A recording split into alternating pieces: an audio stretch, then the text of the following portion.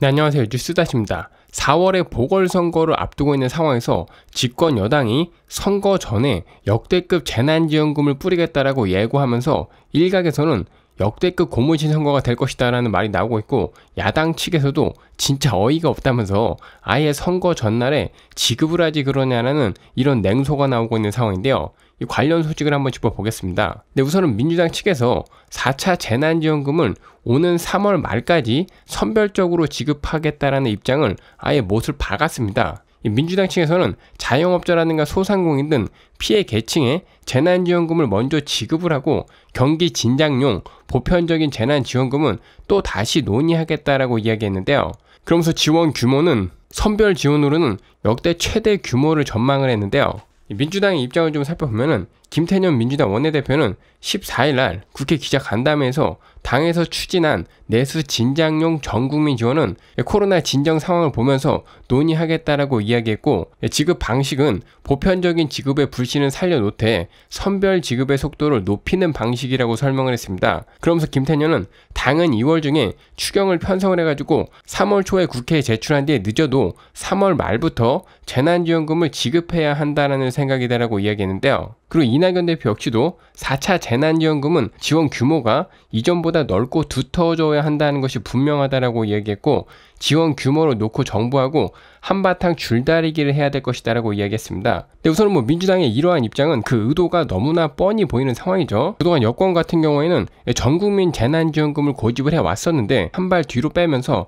선별적으로 먼저 지원을 하겠다라고 입장을 이런 식으로 선회한 데에는 현재 정부 측에서 전국민 재난지원금에 대해서 그다지 동의하지 않고 있는 모양새를 보이고 있고 집권 여당이 정부하고 다투는 모습을 너무 많이 노출을 시키면은 당연히 좋지 않기 때문에 여기에서 한 발 뒤로 빼는 모양새도 보인 것이고 무엇보다 현실적으로 생각을 했을 때 다음 달 안에는 지급이 이루어져야 한다라는 이 절박함이 작용한 것을 보일 수밖에 없는 상황입니다. 솔직히 지금 재난지원금 뿌리려고 하는 것이 선거를 타겟으로 하고 있다는 것을 모르는 사람이 없을 정도인데 정부하고 재난지원금 관련해가지고 논의가 잘 안 돼서 선거 끝나고 나서 뿌려봤자 여당 입장에서는 별 의미가 없겠죠. 무조건 선거 전에 뿌리기 위해서 어느 정도 정부 측하고 입장 조율에 들어가고 있는 것으로 보입니다. 그리고 선별 지원에서 자영업자들을 딱 찍어가지고 역대급이라고 지원을 하겠다라는 이유 역시도 현재 정부의 그 코로나 방역 정책으로 가장 타격을 입은 층이 자영업자들이고 실제로 자영업자들 사이에서는 이번 정권의 방역 정책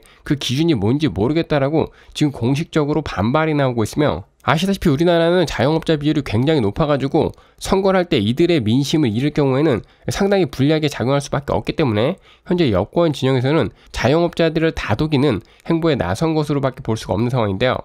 네, 그리고 재난지원금의 규모는 말 그대로 역대급이 될 것이다라고 이야기하고 있는데 이번에 민주당에서 늦어도 3월 말까지 지급을 하겠다라는 이 선별 재난지원금 같은 경우에는 선별 방식임에도 불구하고 작년에 전 국민들을 대상으로 지급을 했었던 1차 재난지원금 14조 3천억 원하고 유사한 수준이 될 것이다라고 이야기를 하고 있고 현재 민주당은 추경안을 제출 받아가지고 3월 임시 국회에서는 무조건 통과시키겠다라는 입장입니다. 네, 그리고 이뿐만이 아니라 전 국민 대상으로 한 재난지원금의 불시 역시도 계속해서 지금 살려놓고 있는 모양새를 보이고 있는데 전 국민 재난지원금 이야기를 계속 꺼내는 것은 전 국민 재난지원금 같은 경우에는 보궐선거 전에 지금은 어렵겠으나 여권 지지자들의 요구를 일부 수용한 모양새를 갖추고 있는 것으로 보고 있고 또한 국민들을 대상으로 우선은 현재 어려운 자영업자들에게 먼저 지급을 하고 국민들 역시 잊고 있지 않다. 우리에게 표를 던져주면은 선거가 끝난 후에도 재난지원금이 지급이 될 수 있다.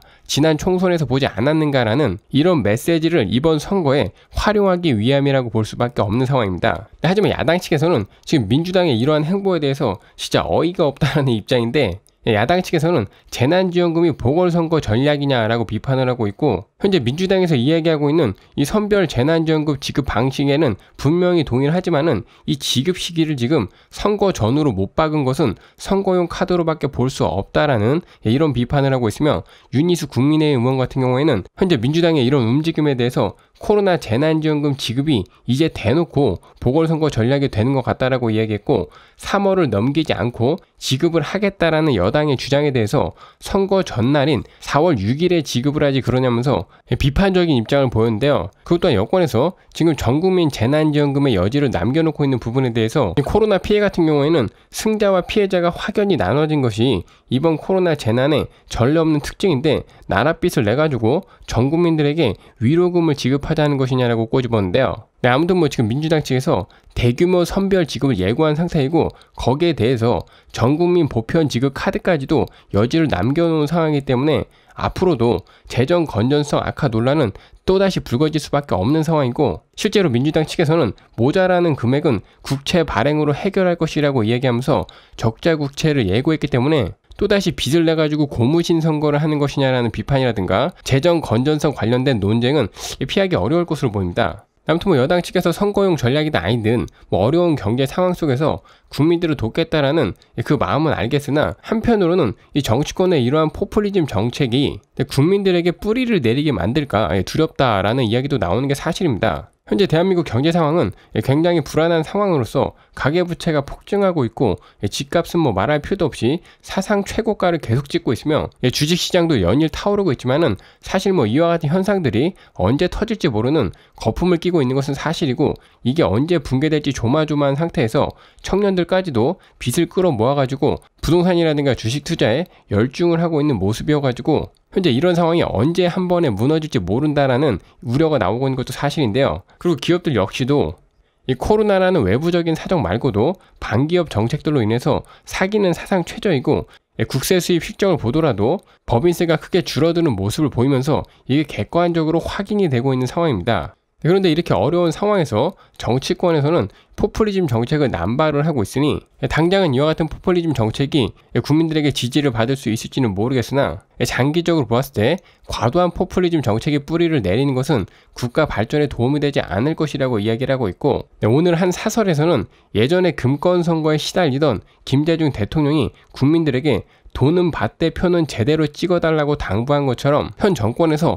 선거 전에 포퓰리즘 정책으로 표몰이를 하는 것에 맛이 들린 모양새를 보여주고 있는데 다가오는 선거에서 우리 국민들은 포퓰리즘의 영향을 받지 않는다는 것을 보여줘야 할 것이며 이번 4월 선거가 우리에게 여러모로 굉장히 중요한 분수령이 될 것 같다라고 이야기를 하고 있습니다. 네, 아무튼 뭐 다른 말은 몰라도 저 말만큼은 정말로 공감이 되네요. 네, 현 정권이 뭐 포퓰리즘 정책 밀어붙여가지고 선거 전에 돈을 뿌리겠다라는 거는 예, 막을 수가 없겠지만은 DJ가 예, 이야기한 것처럼 예, 돈은 받되 표만큼은 좀 제대로 찍어달라라고 이야기한 저 말을 다시 한번 새겨야 될 때가 아닌가 싶습니다. 이번 소식은 여기까지 하겠고요. 여러분의 의견은 어떠신가요?